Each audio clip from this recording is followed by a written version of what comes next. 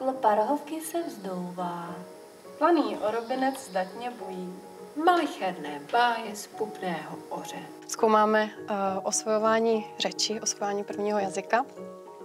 A v našich projektech, který provádíme tady v téhle odzvučněné kukani, zkoumáme vývoj jazyka nebo vývoj řeči u těch nejmenších miminek od třech, čtyřech měsíců až do prvních narozenin.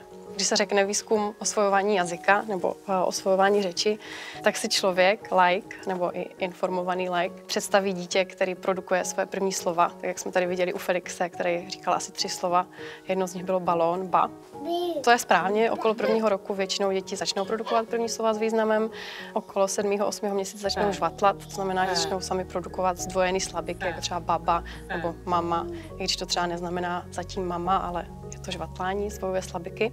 No ale je důležité si uvědomit, že osvojování jazyka začíná mnohem dřív než rodič nebo pozorovatel uvidí nějakou produkci dětskou a začíná vlastně už při narození nebo vlastně před narozením. A krátce po narození už by se o dítěti dalo říct, že je rodilým mluvčím svého jazyka zhruba desetiměsíční miminko, který vyrůstá v anglicky mluvícím prostředí, ví, že existují dvě různé souhlásky v our, který uh, se objevují v tom jeho jazykovém prostředí a můžou změnit význam slov, jako třeba west a west, nátělník a západ anglicky.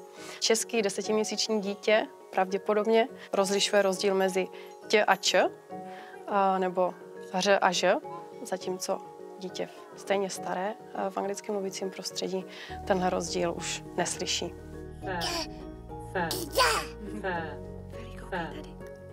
Tady tenhle nejranější vývoj jazyka ještě není úplně popsán.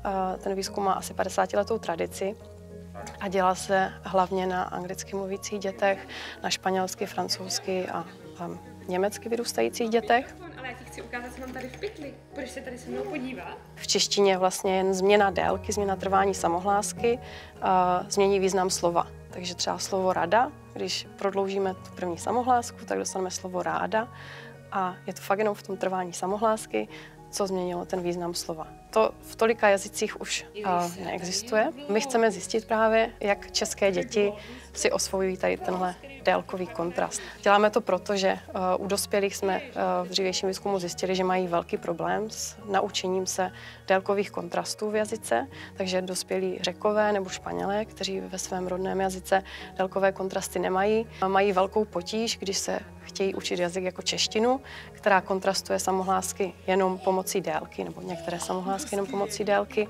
tak oni ten délkový kontrast ani neslyší. Takže ono není ještě úplně dobře známo, jak náš mozek délkové kontrasty v hláskách zpracovává. A protože dospělí mají s učením se té délky takové problémy, tak chceme zjistit, jak vlastně se to učí malé děti, ty nejmenší děti pro svůj rodný jazyk, abychom vlastně mohli dál zjišťovat, co dělat u dospělých nebo jak pomoci potom dospělým, aby se tohle byli schopni taky naučit.